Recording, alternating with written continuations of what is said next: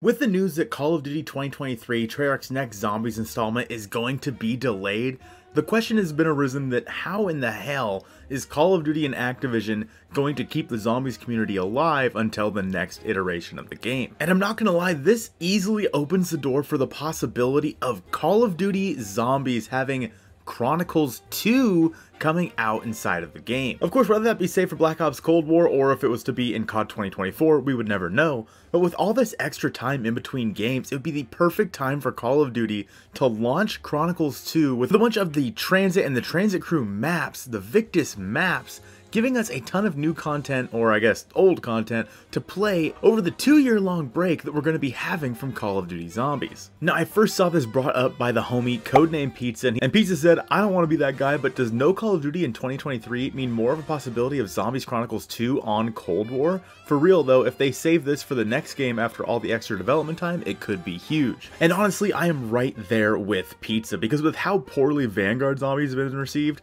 along with Modern Warfare 2 more than likely not having zombies, and then COD 2023 being delayed, it's almost like a three year wait in between zombies games from Cold War to whatever the next installment of Call of Duty's Treyarch game is going to be. And I think the easiest solution for Treyarch and for the Activision community as a whole is to release Chronicles 2 as a way to kind of keep the player base alive, even if just a little bit, for Call of Duty Zombies. Obviously, we'd be looking at something like TranZit, Die Rise, Buried, possibly Call of the Dead, Mob of the Dead, and all of those kinds of maps remastered for this Chronicles 2 game mode. And they don't even have to release it all at one time, maybe they could release them in spurts every month or every two months they release one of these new maps, just to keep us playing over the time that we have in between games. The Zombies community kind of felt dead in between Black Ops 4 and Black Ops Cold War. Obviously, zombies as a whole wasn't really that big of a deal in that time frame, and if Call of Duty wants to keep making zombies in the future, they need to play off of what they had with Cold War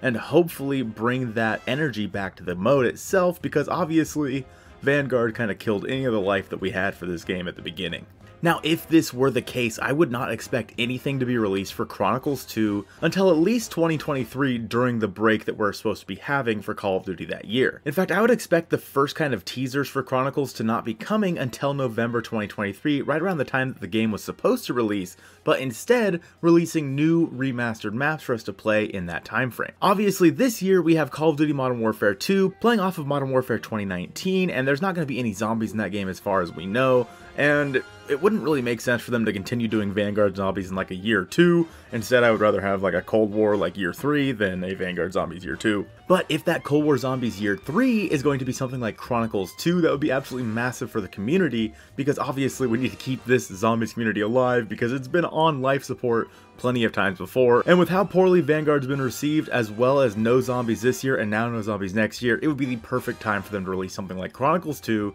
instead of Call of Duty Zombies. Let me know your thoughts down below. Do you want to see Chronicles 2 come out to replace the next Call of Duty game? I hope you guys have a great your day, and I'll see you soon. Big shout out to all the channel members over on the channel, and an extra special shout out to all of the Zombie Richtofen members, starting off with the M60 wielding maniac, Deathwish, my guy, Ben the Bulldozer, and the man, the the legend, Tiz Brandon, ZR.